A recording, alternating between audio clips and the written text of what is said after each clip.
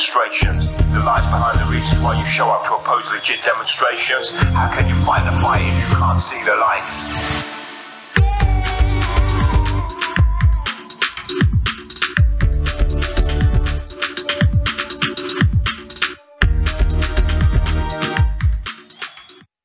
Hello, I am the OBG with a microphone, and welcome to the OBG show. Tonight, I've got some serious stuff. I've even got the glasses on, and um, I'm just going to get straight into it.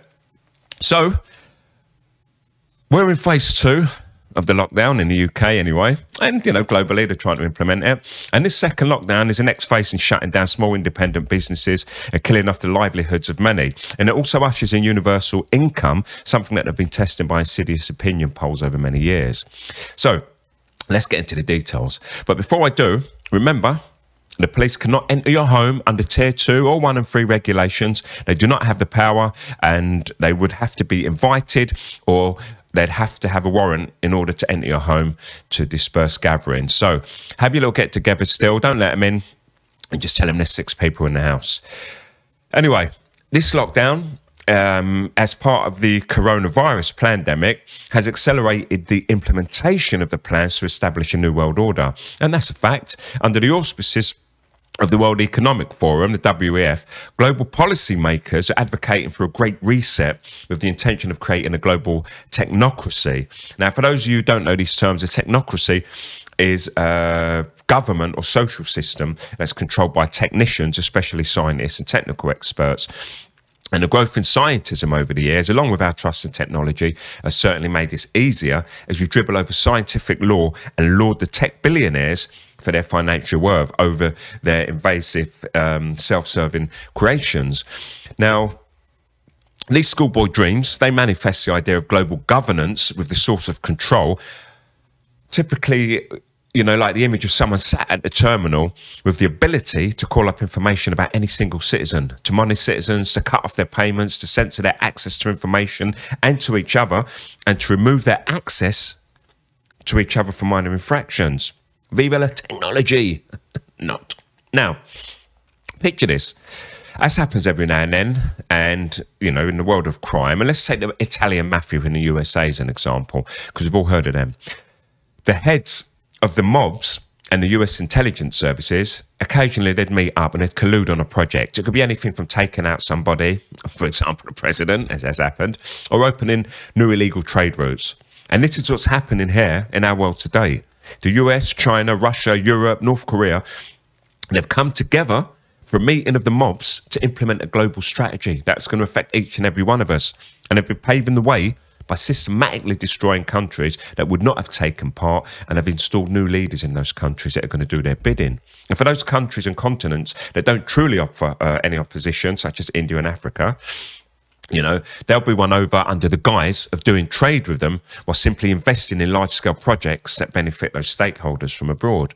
Now, this new technocracy is a collusion of governments funded by tech giants and the heads of the digital industry.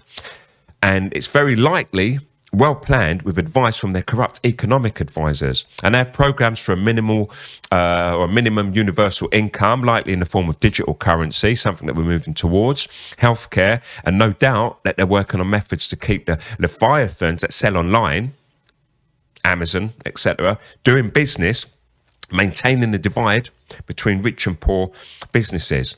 Now, I spoke some time ago about the idea that we can be replaced and there isn't a need for us human beings as a labour force anymore. Now, just entertain this idea. They've captured our digital essence, what we eat, what we drink, who we talk to. They have all our address books, after all, what we like to wear, our habits, even our predictions and what we think. Now, with AI, they can reproduce us. So stick with me. and the avatars that appear on their screens needn't be a real person anymore. They can simulate us and our interactions. It's like a big computer game to them. Anyway, moving on. Robots and AI have taken over many jobs. Self driving cars, trucks, drones, service robots that can even prepare and deliver orders from household goods to food, both fresh and pre made takeaways. In short, we're a burden. They see us as savages that need to be controlled and exploited. now, Thomas Hobbes, I spoke about him before. Um, he published Leviathan in 1651, and in it he argues that civil peace and social unity are best achieved by establishment of a commonwealth through social contract. And he argues that a sovereign power is responsible for protecting the security of the Commonwealth and granted absolute authority to ensure the common defence. And he starts Leviathan off by saying the Commonwealth is an artificial person that, as a body politic, mimic the human body. Now, he pretty much sums up the philosophy of Leviathan in the first of these four books um, titled Of Man. And in this, Hobbes argues that every aspect of human nature can be deduced from materialist principles. And materialism that's like a form of philo philosophical monism that holds that matter is a fundamental substance in nature, and that all things, including mental states and consciousness, are material. And monism is about the attribution of, um, you know, like oneness or things as, you know, just as a single unit.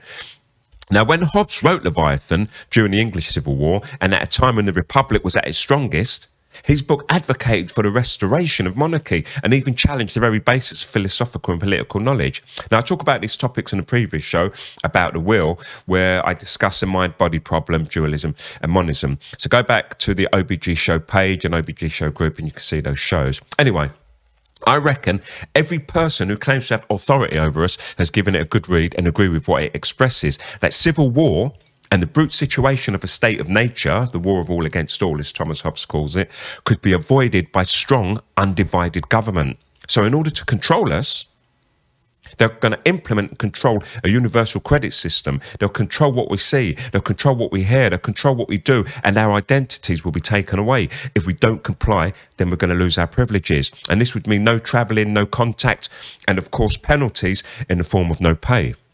Now, what is their agenda? A little history is required on this. So, I talked about a European um, who people considered a great statesman when I went into detail about Pericles, a Greek statesman in general of Athens during its golden age. And you can hear more about that if you look for the OBG show that I did on the 17th of September this year and he was largely responsible for the full development in the later 5th century BC of both the Athenian democracy and the Athenian empire, which made Athens a political and cultural epicenter of Greece. And there's not a single story about genocide or takeovers to be found, and he was well loved.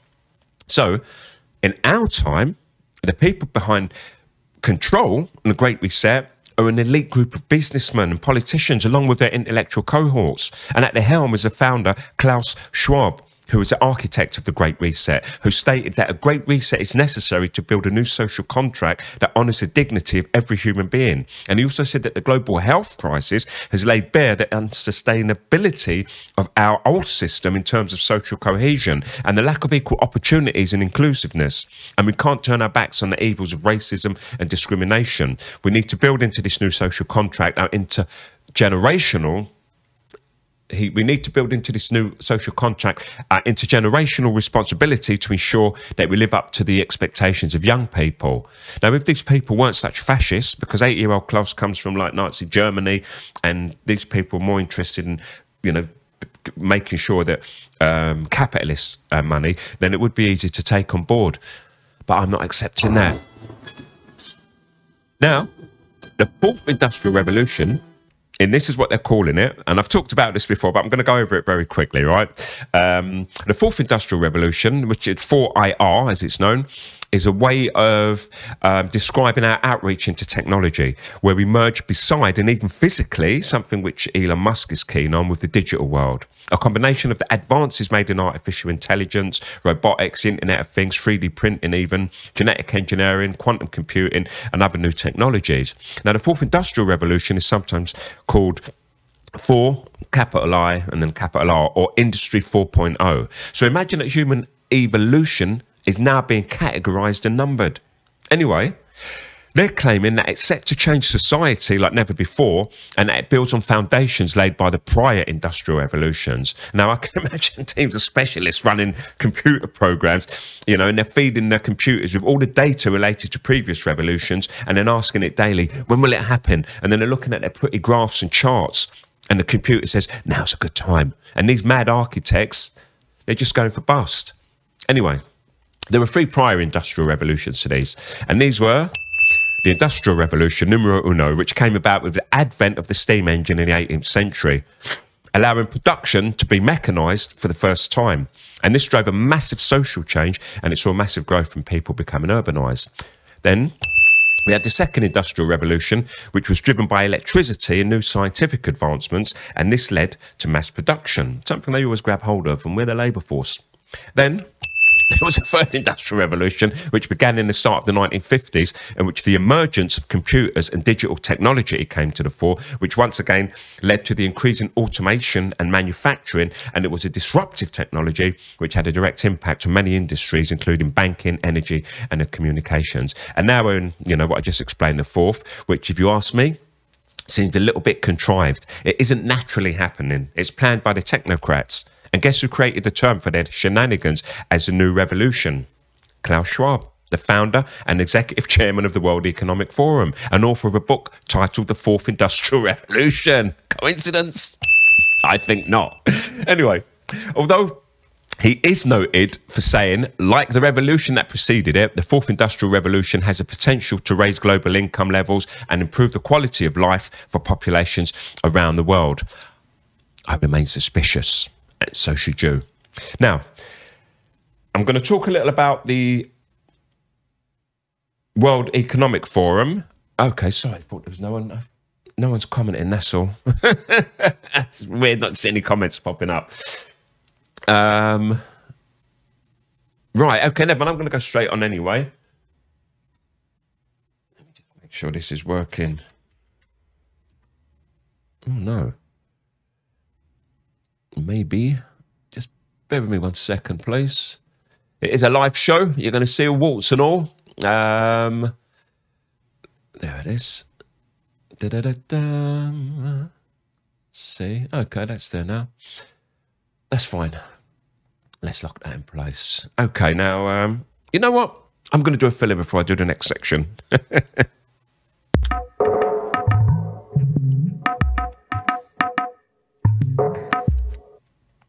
Okay, so I'm going to talk about the World Economic Forum briefly, and this is part one of a series of four, which I'm going to do over the following weeks. So, the World Economic Forum. Uh, they were founded in 1971 and they used to congregate every January in Davos in Switzerland. Now, under the guidance of the uh, WEF or the World Economic Forum, their agenda, which is a great reset, says that the completion of the current industrial transformation requires a thorough overhaul of the economy, politics, and society, and that such a comprehensive transformation requires the alteration of human behavior, and thus transhumanism.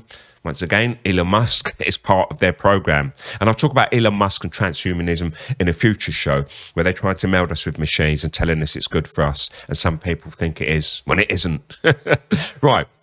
So, the 51st meeting of the uh, WEF is going to take place in Davos in 2021, where the agenda is about the commitment to move the world economy towards a more fair, sustainable, and resilient future, whatever that entails. So, all these recent maneuvers that we're being shuffled around in are simply a part of their great plan, the Great Reset. And the program calls for, in their words, a new social contract that is centered on racial equality, social justice, and the protection of nature. They're also claiming that climate change requires us to decarbonize the economy and to bring human thinking and human behavior into harmony with nature. And their aim is to build more equal, inclusive, and sustainable economics. And I don't think this is true. I think the uh, WF leaders, by the way, they also claim that this new world must uh, be urgently implemented, pointing out that the pandemic because I'm getting to the Corona Shimona, has laid bare the unsustainability of our system, which lacks social cohesion. So now they're claiming that, and to me, it's it's it's it's uh, you know contradiction in terms. One, they're claiming that um, you know there's no there's no um, social cohesion because of the pandemic, but now they're not even connected, and they're handling this pandemic very badly. It seems. And I was going to play some videos today. Didn't have time to set them up, but there's a lot more people coming forwards who are actually saying that there's the hospitals that they're working in in key positions are empty, or they've had very, very few cases. Not the high numbers that people are telling us. So, as much as it kind of makes sense to aim to some of the goals that the WF are talking about, because there's nothing wrong with racial equality, social justice, and the protection of nature forcing us into their programs without consultation as such is going to create fear. How can we trust people who are driven by profit for themselves in the main as individuals to run such a show?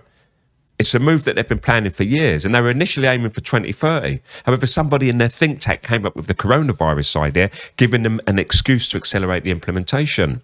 And the question on everyone's lips will be who's going to be running things? And this is one of the most important factors. Even though we don't know all the names, it's going to be the new tech capitalists, scientists, and economists that I talked about earlier. And I spoke many years ago about a power struggle at the top, and I really do believe it's going on. We all know the old school families that were running the world, funding wars, running banks, you know, the Rothschilds, Morgans, and their underlings, but nothing lasts forever. And I think there was a grab for power internally, which resulted in us witnessing the sacrificing of some of the bigger players in uh, corruption globally. And I truly believe that the new school ran away with the technology as a weapon, and the uninformed old school were left behind with their old ideas and without the technical expertise. So maybe the new school do want to see changes for better. However, they still have an insidious plan for world domination of the likes that were never seen before. The old school had to wage wars and slay millions to make any ground, whereas the technocrats have managed to silently enter our lives with their insidious surveillance methods and have captured the majority of the modern world without spilling blood. Now, they've likely entered the lives of the old school and many of them held by blackmail. That's a key thing. They also have everything they need to know about all but the cleverest, uh, the clever, cleverest of us dissenters, allowing them to remove their enemies by all the usual methods and the modern methods of linking them to pornography or paedophilic images, which is a trivial task to send to anybody's computer or phone these days. Anyway, the whole idea of locking down the planet was to destroy the economies, both in business and families, which in David Icke's terms is problem, reaction, solution. And this is where they create a problem, we react, and then we turn to them for a solution, which in this case will be basal, uh, basic, universal income. Now, also, there's also going to be a growth in the need for social assistance. And where would we be without mentioning the police? Over the years, have become more militarized, and we've seen a massive growth in security services worldwide, with G4S, an Israeli based company, being the third largest employer of people in the world. And the problem here is that people still have the image of the village Bobby in their heads, and they're going to sing the praises of that good copper they met once. And the reality is that they are human beings that follow orders. They have no loyalty to their oath, but only to their masters. And given an order to hurt, detain, or even kill another human being, they will do that. We have to drop this title of police. They are wicked human beings, being corporate slaves who work for pay. And they're slowly being funded by private organisations, and they're going to show loyalty to whoever pays their wages. And it's a simple and savage human choice. Their paymasters' orders are Separate yourself from the people we're destroying, stand above them, protect us, and we will house you, we will clothe you, and we will feed you. And this in turn means that we will face a formidable force of well equipped sycophants if we decide to fight back. Now, I think I've said enough on that, and I still haven't reached the juicy bits yet, but I'll do the next parts each Thursday, and there are three more parts planned, and then I change um, as the Rona shenanigans change. But before I stop, let me share with you a little about what's going on in other parts of Europe and the UK as we enter the second round of lockdown today. So, two weeks ago, uh, France, they imposed a night curfew in Paris and other major cities to curb the spread of the coronavirus. And new regulations and social distancing rules were introduced across multiple European countries in an attempt to stop the spread of the coronavirus as a second wave of the pandemic, which apparently accelerated across the continent. And the second wave idea is likely is very likely just part two of their plan. Now, last week Europe reported that more than 1.3 million new cases uh, occurred, which was its highest single week count yet, according to the World Health Organization, with Spain and France each surpassing 1 million cumulative confirmed cases, becoming the sixth and seventh countries to do so globally. There are also record number increases in Italy, Germany, Belgium, Czech Republic, and United Kingdom, threatening to overwhelm these countries uh, and their abilities uh, to test the coronavirus. Now, Many of the reports from hospital, hospitals, as I spoke earlier, from insiders are still appearing. And these people are saying they've put their necks on the line, of giving their jobs up, and they're saying the figures are appallingly low. That their hospital, one woman who came out, she said there was only three people, even though it was reported as tons higher. Now in Poland, their president, um, uh, Andre Duda, he tested positive for the virus recently, and they claim that the cases there doubled over the last few weeks of October.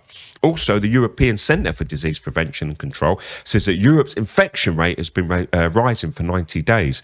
And because the experts are worried that the situation in Europe may soon spin out of control, we're seeing new curfews and social restrictions as they attempt once again to curb the spread and avoid full scale lockdown, which they say will result in damage to the economy for Christmas.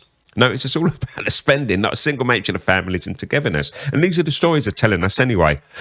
So, here in Spain, the Prime Minister, uh, Pedro Sanchez, he declared a national state of emergency last Sunday, which included a night curfew and some travel restrictions between regions. And in Italy, they also announced uh, new measures to curb the virus. And this is a harsh, the harshest rise since its lockdown in spring, which were pretty harsh anyway, and that was due to Italy being the global epicenter of the pandemic at the time. And finally, in the UK, two weeks ago, the Health Secretary, Matt Hancock, he announced a move to a high alert level. I don't know what the tier system is about in the UK, but um, this is something that I read earlier. So uh, they've raised it to that um, high higher level for London and other cities. And right now, the Prime Minister Boris Johnson has announced a full lockdown, which started today. Now, this is a massive U-turn by Boris Johnson. It's because um, with immediate uh, warnings of the grave economic fallout and the mounting backlash um, from the ruling Conservative Tory MPs, the Prime Minister announced that these new measures would come in today in order to combat growing coronavirus infections and will remain in place until December the 2nd. And once again, under these new measures, non essential shops and venues, as well as pubs and restaurants are going to be closed. Schools, colleges, and universities, however, will remain open because the virus knows not to affect people in full time education. Now, for everybody else, they can leave home for specific reasons, such as work, if they can't work from home, to shop for food and essentials uh, they can leave for exercise also, and for medical appointments or caring for the vulnerable. And even then, I've seen some videos where the police have been harassing people caring for the vulnerable. Now, you know what's going to happen there? Every person in their dog is going to dig out their tracksuit from the deep storage and go running. And I reckon you should. And don't forget, winter draws on. So, special attention has to be given to the vulnerable and those over 60 and once again, they're being advised to minimize their social contacts, but there's going to be no return of a formal request to shield themselves. And government insiders, they also said that time limited measures would then see a return to a regionalised approach. Now, in another major reversal, the original furlough scheme, under which the state paid 80% of workers' wages, is also going to be uh, extended for the duration of the new lockdown, even though ministers um, had been resisting an extension of the scheme previously. And the lockdown won't be applied to Scotland, Wales, and Northern Ireland. However, they bring England into alignment with France and Germany by imposing nationwide restrictions, almost as severe as the global economy earlier on in the year. Um, with its uh, deepest recession, uh, you know, like uh, seen so far. So the United Kingdom has reported 46,000 COVID deaths as those uh, dying within 28 days of uh, you know COVID tests. But once again, I'm just reporting what they're claiming, but we're seeing a hell of a lot to contradict it. In Germany, they've got 600 really high level doctors who have come out also speaking against it, and they're saying that it's a hoax too. So we've got to win the hearts and minds of the people who. Uh, I sound really nasally. I think my glasses block my nose. One, two. So, yeah, we've got to win the hearts and the minds of the people and try and get people to understand that, listen, regardless, people die all the time. There's a flu around. People are dying as they always do. Carry on as normal. If they publish the figures every day of people who died of cancer, of the common cold, or people who just fell off a ladders, you wouldn't think that the world was a safe place and you'd have the same reaction as now. It's nothing to worry about. So, if the figures were actually correct as reported, by the way, the United Kingdom has the world's fifth largest official death toll, uh, which only comes after the United States, Brazil, India, and Mexico. Boom, in fifth place this week in the Corona charts, the United Kingdom. So, we don't know who to believe. And in my view, they realise the effect of the previous scares, such as bird flu and all the uh, you know other scares that they done each year. And what that moved them to construct was this pandemic nonsense. And to on top of all of this nonsense, it was announced today that the UK's terror threat level has been raised from substantial to severe, meaning an attack is now uh, imminent or judged to be highly likely. And as Priti Patel says, the British public should be alert but not alarmed. Then she confirmed there would now be more visible policing across the country. What the hell are they up to? It's about getting police on the street. That's all it is. Terrorist threat, my ass. I don't know, but you can bet your last pound it's no good. anyway.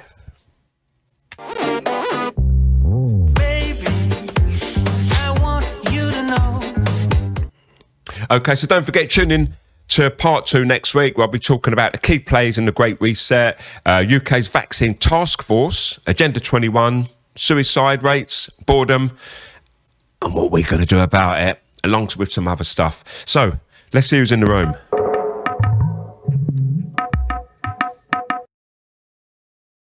Thanks for coming in tonight. Um, you guys have been amazing, and I've been the OBG.